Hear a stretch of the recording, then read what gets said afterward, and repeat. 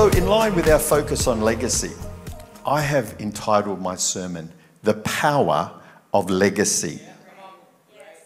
So, the theme of legacy is interwoven right throughout the Bible because God created us for legacy. There is not a person in this room that was not created for legacy. There's something in all of us, isn't there, that, that wants significant, that wants to leave a mark, that wants to um, attach value to our lives. So, you know, we want to be a great mum. We want to be a hard worker. We want to be a loving person. We want to maybe be a, a, wealthy business person or whatever that is. But we want something nice written on our epitaph, right? Nobody wants, he was a grumpy old coot that did nothing. See, we were created for purpose. We were created by God in his image. God is a God of legacy that we see flowing through the generations. And the, the language of the Bible is constantly generations. Because we, we read right at the beginning that God was the God. He was the God of Abraham. He was the God of Isaac. He was the God of Jacob. The promise given to Abraham was passed on and accepted, embraced by succeeding generations. We read in Genesis 12, verses 2 to 3, it says, I will make you into a great nation, and I will bless you, and I will make your name great, and you will be a blessing. I will bless those who bless you, and whoever curses you, I will curse. And all the peoples on the earth will be blessed through you. So we can read this promise uh, and see how it began to unfold through as each successive generation stewarded the promise. Isaac, um, Jacob, stewarded that promise. But you know, that same promise has followed on down through history and it is ours today. In Galatians 3 and verse 29, it tells us that we are the children of Abraham and heirs to the same promise. So that legacy is flowing through the promise. We are called to be people who bless the nations. We are called to be people who are blessed of God. So, you know, in Psalm 145 and verse 4, it says, One generation commends your work to another. They tell of your mightier acts. In other words, they pass it on. They embrace the legacy and pass it on. In the New Testament, we see that the apostles are so diligent in, in valuing legacy. They know that there is power in legacy. In fact, you know, you cannot believe in discipleship if you don't believe in legacy. There is no place for discipleship if we don't honor legacy. Listen to the Apostle Peter in 2 Peter, verse 1, uh, chapter 1 and verse 12. It says, So I will always remind you of these things. And he's talking about God's divine power. He's talking about God's faith. He's talking about goodness and God's long suffering. Even though you know them and are firmly established in the truth you now have. In other words, these are foundational things that Peter is talking to the church about.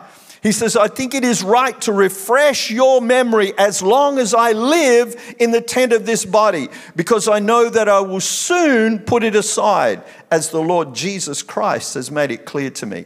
And I will make every effort to see that after my departure, his death, you will always be able to remember these things. Peter wrote because he's creating legacy. He wants to hand down the treasures, the learning, the wisdom, the truth of God to him. The Apostle Paul was also create, um, committed totally to legacy. We read in Philippians 2, verse 9 to 13, it says, I hope in the Lord Jesus Christ to tim- send Timothy to you soon, that I also may be cheered when I receive news about you. In other words, Paul has embraced Timothy and, and he's embraced the church, and now he's sending Timothy on to be his voice.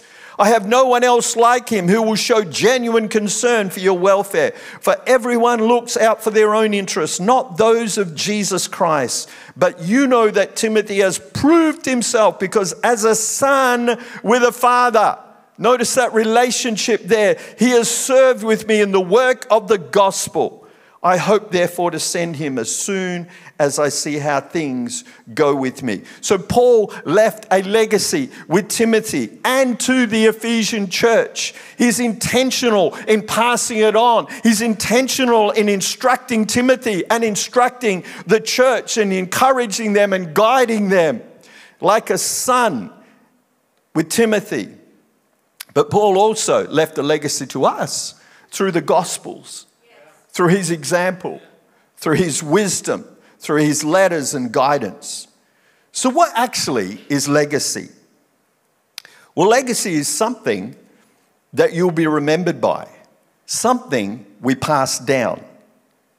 See, our legacy is a testimony of influence that has been passed down to the next generation and remembered long after we have departed from this world. It's something we leave. William James said, The greatest use of life is to spend it on something that will outlast it. That is the power of legacy. Do you know whether people want to or not, whether you want to or not, you will leave a legacy. It'll either be a great legacy or it'll be a legacy you regret. But you will, one way or another, leave a legacy. For us, leaving a legacy is one of the greatest opportunities of our Christian experience. It's something that we should grab on and run with. See, it's the opportunity to leave a gift behind us that has an enduring value for the generations to come. It'll live beyond you and into eternity. See, that's why we're honoring today those of us who've left a legacy. You know, as part of its definition, legacy can mean money or property that is received from someone who has died. Legacy is similar in some ways to inheritance, something handed down from one generation to the next. Thank God for the faithful people who've left a legacy. You know, this building is a legacy? Yes. Do you know every building we've ever owned is a legacy yes. to people who have sacrificed? People who have given, people who have invested, people who have seen the future. And so we know that this building, and I know that it's a heart that this building will be used way beyond our time the young people coming through are going to use this thing for the glory of God. They're going to see multitudes of people getting saved. They're going to see this thing grow, and out of this thing, so many other churches planted, so many disciples made, so many nations reached, because that's what legacy does. That's what we do when we leave an inheritance and we give something. We sow into the future. Proverbs 13 and verse 22 says, A good person leaves an inheritance for their children's children or the, the following generations. See, that's why every year we have building our future. We believe in legacy as a church, leaving something tangible for the future generations of our church family that they can grow and invest with. But you know, it's not just about money. The word legacy for us carries a timeless worth greater than just monetary value. See, Jesus' entire life was focused on leaving the greatest legacy ever granted the gift of eternal life. That's his legacy to us the cross and eternal life. The Last Supper, when he gathered his disciples the night before he died, that unquestionably is the most powerful and poignant gifting of legacy ever recorded where Jesus commissioned the disciples. And that same gift and legacy that Jesus left behind remains yours and mine. See, Jesus left a legacy so that our lives could count both now and in eternity. A legacy is something that is gifted to us in order that we can build and can gift it to others. And the people that we're honoring today have left a legacy which by God's grace we're going to build upon. Amen? You know, I was, um, when I was asked to speak, I was thinking about my dad. Uh, he's passed away now. But I was thinking about the legacy that he left for me. My dad was a successful businessman in Sydney. He owned a big business. And then he found Jesus. And so he felt God wanted him to let go of his business and go to a place called Carnarvon. He thought that was an outer suburb of Sydney. so when he saw on the map where it actually was after he said yes, um, he, because he was invited to be a part of the NASA space tracking station. And he became the supervisor of the operations up there uh, that space tracking station. He actually spoke to the astronauts as they landed on the moon. But you know what I hold in my heart?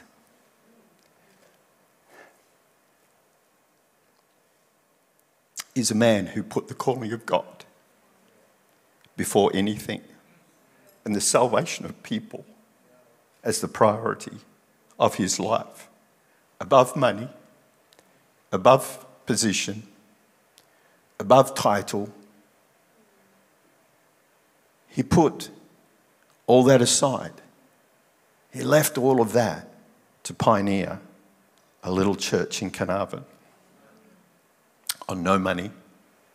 I watched him live by faith, trusting God every week for income.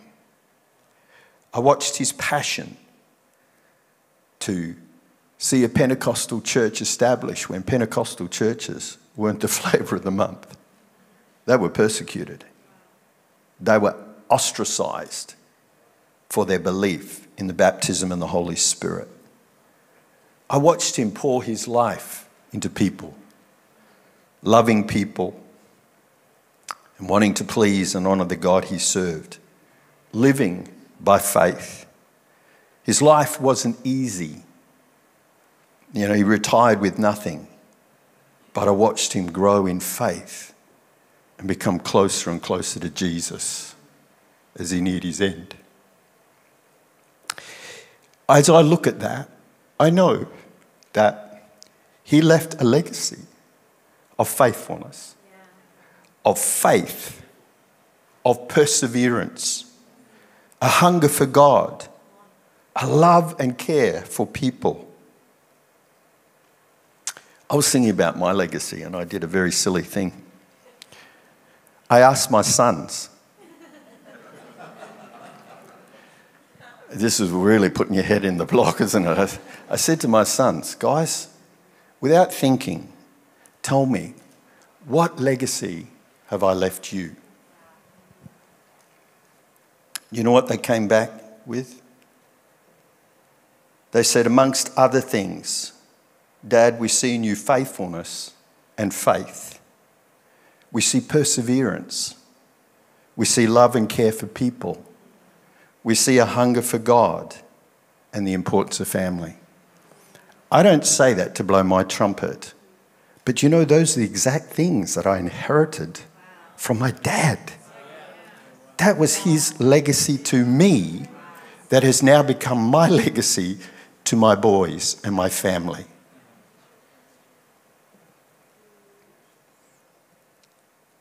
Hopefully, I'll be able to continue to build upon those things that my dad left so that my kids and their families can build further in their lives. See, legacy is something we leave to those following behind but here's something it's also something we build upon from those who have gone before. Legacy is not just something that is left for us. Legacy is something that we need to embrace and actually begin to make the decision to build upon. We want that legacy to be better. I want the legacy that I leave my kids to be far better than the legacy that my dad left me because I want to build on what he left me. That is just a foundation that we've been handed. That is a gift that we've been given to invest in, to build upon, to see it grow and become more than ever we've been left. You see, we are receiving legacies while we are building legacies. We pass on so much more than the legacy that we receive. You know, when we don't build on legacy, it loses its potency. It'll die with that generation. Paul left that legacy with Timothy Paul was so focused on investing in the people that were around him and following him.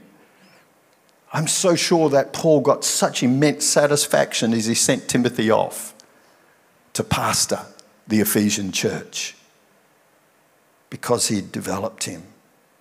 Can I say this? Legacy is not about age, and you don't have to be married to invest in legacy. Youth can be investing in the young people that are around them and following them and leaving a legacy for those young lives to shape them, to impress them, to help them to see the importance of, of the values in life and the things that are going to help them moving forward. It's not about age. It's mums investing in their children and, and in other young mums. We can all be involved in legacy and leaving a legacy. You see, we have been given so much legacy to build on. Do you realize how privileged we are?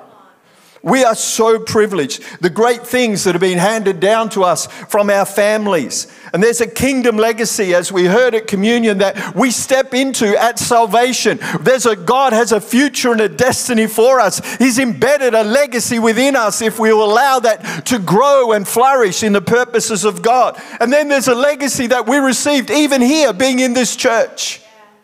You know, our leaders, the people that have gone before us, have left us a legacy. There's a legacy being left by our senior pastors who love us, who love discipleship, who love connect groups, who teach us on wholeness, who are generous, who are loving and caring. That's a legacy that we can all build on. Don't let it stop here, but let it continue to grow so that Nations Church becomes everything that God wants it to be. And it'll happen as we embrace the legacy that is being given to us.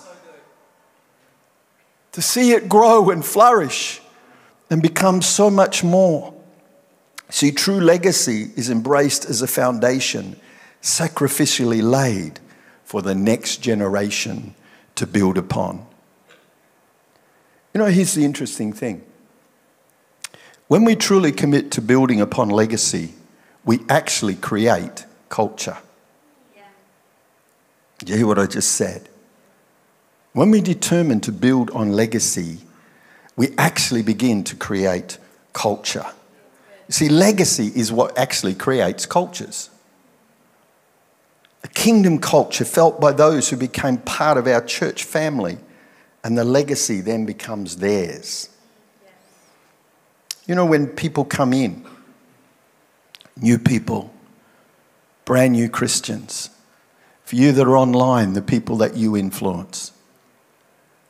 They're imbibing a legacy. And if it's a healthy legacy, they'll imbibe it and it'll become a culture in their own lives, in their own families, yeah. with their own children and the people that surround them. See, and that goes from the youth group, the young adults, to the chapel service, all the way through. We can all create great legacies and leave great cultures. Things like wisdom and character, integrity, compassion, generosity, love, a passion for the gospel, a passion for prayer, a passion for the word of God. See, these are the things that are going to come out of our life that as we practice, they begin to leave a legacy and create a culture that others can relate to.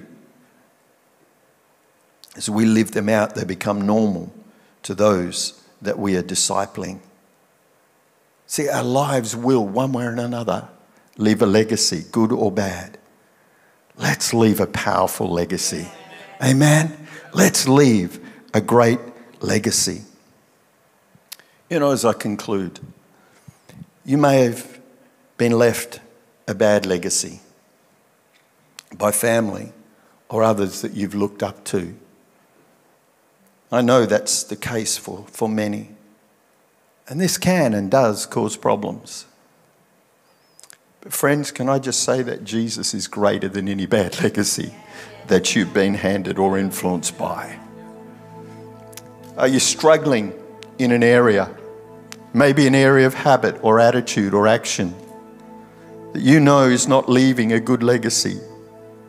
Can I say, don't leave guilt and disappointment to have the final word?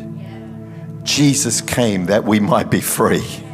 Jesus gave us a foundation to build on that will bring freedom to our lives. Friends, can I encourage you? Come back to the cross. That's where it all starts. Come back to the cross and give it to Jesus. That the legacy you leave becomes a power in your life for the people around you, for your children, for those that you are influencing. See, we can acknowledge the influence of a bad legacy but we don't have to live under it. There's freedom in Jesus. And you know, as a church family, we want to stand together and help each other. You've heard me say many times, most of us are like the rest of us. And maybe, just maybe, you know, there are people that are surrounding your world. Some of the older people that we're honoring today, you know, they've learned a few things about life, they've seen some stuff. They've had to get over some things. They've had to work through some stuff. There's some wisdom there. Can I encourage you, if you're struggling in an area of your life, use the legacy that is right here amongst us. Go to connect groups and get involved with the people around you. Let their legacy begin to build something new and fresh. Let Jesus change the story and make it a legacy of power, a legacy of hope, a legacy of goodness, a legacy that is going to lead others into the eternal purposes of God because that's his legacy legacy for each and every one of us. Let's embrace legacy. See, legacy is not just what we leave behind, but it's also who we leave behind. It's who we leave behind that is hanging on to the legacy and growing and become far greater. I want my kids to do far more than I've ever done. I want my kids to be far more than I'll ever be. I want to leave them a legacy that is powerful in their families, in their marriages, in their ministries. I want them to build. See, ultimately, legacy comes down to one question Who are you living for? Who are you living for? If you're living for you, the best you'll do is you. If you're living for Him, the best you'll do is His best, working through you. You know, there's power in legacy, and every one of us are legacy leaders, leavers. Right now, on this Legacy Sunday, I want to pray a prayer of blessing. Can we do that, family? Over everybody. I, I'm gonna, I'm just picking an age, and I'm saying 55. We're all legacy leavers. But today we want to particularly honor those who've been on the road for a while. And so I'm going to ask if you're 55 or over, would you just stand to your feet because we want to honor you and we want to pray for you. Don't be shy. Um, nobody's going to know, you know, you're, well, yeah, they might just guess that you're a little bit older than 55 or 55, but yeah, that's it. I want you to just look around for a moment. Friends, these are legacy leavers who've done some tough yards, who've invested, who've given of themselves. Today, we're a product of many of their legacies. The input, the wisdom, the giving over many years that sees us where we are today. So, friends, can we honor every person standing today? And can we say thank you? And we love you. You're amazing. Thank you. Thank you. Thank you so much. And can I say, you are so needed, you are so necessary. Don't stop now. Let the purposes of God flow through you in a greater way. You believe God for more, for a greater filling of the Holy Spirit. You share the Word of God and the grace of God and the goodness of God that is your testimony. You share it with many. You begin to lift in a whole new way those around you. We need you in Nations Church. We value and we honor you. So come on, let's pray. A prayer of blessing Lord, we thank you for every person that's standing. Father, this is not just about age, but this is about people. Lord, they've invested and they've given so much. Lord, we want to say today we're grateful for the investment of their lives, for their faithfulness, for the things that they've overcome and struggled through. For Lord, for the fact that they're still here, Lord God, doing your bidding, doing your calling. And Father, today we pray your blessing upon them. We pray your blessing upon their lives. We pray, God, that you would bless them so that they can continue, Lord, to be a blessing to the generations. Lord, may the people around them, their families, Lord, those, Lord God, that they've given to, Father, may they rise and be greater, Lord God. Those, Lord God, who are struggling, Father, I pray your strength, I pray your encouragement. Father, I speak faith, Lord God, into them. Lord, we just bless you and honor you and thank you, Lord God, for your faithful children. And all God's people said, Amen, amen. I hope if you're watching online, you, if you're over 55, you stood also. That prayer was for you. You can be an influence in your home. You can be an influence in your family. You can be an influence in your family and, and your, your world. And we're praying for you as well. We see you today and honor you for what you have given. Thank you, Jesus.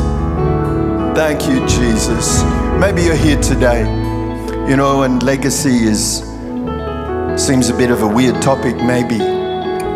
You've been preached from a church, but you know, Jesus came to bring a legacy, to turn our lives around. As we've heard, there's a place at the cross where our lives can be made whole, the slate wiped clean. That doesn't mean the past just disappears, but what it means is you have an opportunity to begin to speak as you move forward. You have an opportunity to begin to influence differently. Your heart is, is re, relocated, as it were, by the love of God, by forgiveness. You don't have to live in grave, in guilt. You don't have to live in condemnation. You don't have to live in fear of your past. You can be free today by knowing the love of the Lord Jesus Christ and the fact that He created you for a purpose. He created you for life. So if you're here today and you don't know the Lord Jesus while every head is bowed, I'm going to ask you to do something brave. I'm going to ask you to just slip up your hand because I want to include you in a prayer that I pray today. I want you to encounter the love of Jesus. I want you to encounter Him. I want you to encounter His forgiveness because that's the legacy that He left when He died on the cross, when He paid the things that for the things that have separated us from God, when He made sure that justice was fulfilled. He was looking at you. He has a place for you and a future for you, whatever your past. He wants to speak into your future. So if you're here today while every head is bowed and you don't know the Lord Jesus, would you just slip up your hand so that I know I'm including you in a prayer that I'm going to pray? If you're watching online, I'm talking to you too. If you don't know the Lord Jesus, even where you're sitting in your room, in your bedroom, wherever you are, I want you to slip up your hand as a sign that you're saying, I want to know God. I want my life to be different. I want you to come, forgive me, and set me on a new path. So, someone today, your heart's beating, you know God's got, He's talking to you. Right, I can't see any hands in the room, but I'm going to pray anyway because I'm believing there are people watching online. God is touching right now. So come on, family, let's pray. And you pray this prayer and mean it today, and you're going to encounter Jesus. Even if you're by yourself, He's going to come. You're going to know His presence. You're going to feel clean. You're going to feel, be filled with hope as we pray. So come on, family, let's pray. Dear Lord Jesus, I thank you that you see me. I bring my life to you. Will you take it? Will you forgive me? Will you cleanse me? Will you fill me with your life? Will you fill me with your love? Will you fill me with hope? Will you change my life and cause me to be a legacy maker that makes a difference from this day forward and into eternity? Thank you, Jesus, for hearing my prayer. Amen. If you made that decision, if you want to go to nationschurch.com forward slash my decision, We've got somebody who'd love to get in contact with you and bless you and walk this journey with you. Just before we finish, time is gone. But I'm going to ask something this morning. And I'm talking both to people in the room and online. You know, we have the opportunity to be great legacy leavers. But let me ask the question who are you living your life for? What will be written on your epitaph? We all live in the dash. By that, I mean there was a man who watched his son as he was growing and he was about to enter uni and he was worried about his son. So he took him down to the local graveyard and he said, Son, walk amongst the tombstones and tell me what you see. His son thought it was a bit weird, but he did it. And as he walked through, he began to, the son began to sober up. And he said, Well, Dad, I see that some of these people died very young. He said, Dad, I see that some of these people are buried together. He said, Dad, I see that some people have got stuff written on their epitaph and some people haven't. Some things are good. He said, but I also noticed that on every tombstone, on every headstone, there's a date a starting date and a finishing date. His dad said to him, Son, what is in the middle? His dad said, he said, the son said, Well, there's a dash. His dad said, Son, that's where we're living right now, in the dash. There will be a starting point and there'll be a finishing point. And it's what you do in the dash that'll make the difference in your life and the lives of others. Friends, we have an amazing opportunity to leave a legacy. And today, if you've been challenged in anything in which I've said, we don't have time to go through a whole lot of stuff, but if God is challenging you right now in terms of the legacy that you're leaving, maybe an area of your life where the legacy you look at it and you think, yeah, my kids are doing that. Or, yeah, there's things that. And the cry of your heart this morning is to say, God, I want to leave a legacy. A legacy that is going to speak of your goodness and your grace and your love. A legacy that's going to invest, a legacy that others can build on. A legacy that is going to speak of your goodness in my life. If that's you today and you're saying, God, would you help me? God, would you change something in me? God, would you see my prayer today? that I'm committing in an area or maybe in all of my life to be a better legacy leaver, then just stand very quickly wherever you are because I want to pray for you today. I want to pray that God helps us to be the legacy leavers that are going to leave this next generation with something to run by, something to run with, that our children are going to be lovers of God's word our children are going to know what it means to pray because they hear and they see us praying. Our children are going to know what it is to love because they know what that is to experience the love of the Father flowing through us. That our marriages are going to leave a legacy that make marriage so attractive to our children. that our legacy is going to be celebrated with new buildings, with new church plants, with new nations reach for Jesus. Come on, just reach out your hand right now. You know the area of prayer, you know what God has put in your heart. Lord, I pray for every person who is standing today. Father, they may be the legacy leavers that you've, Father, you've created them to be.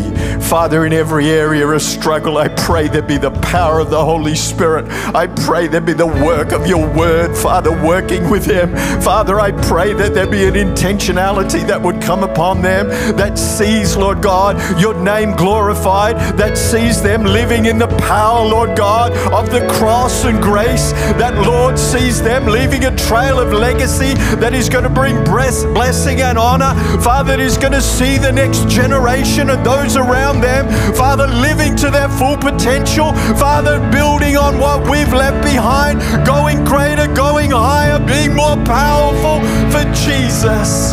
Father, I pray you bless every person that is standing. Father, meet with us today, we pray. And we ask it in Jesus' name. And we ask it for your glory. Amen. Amen.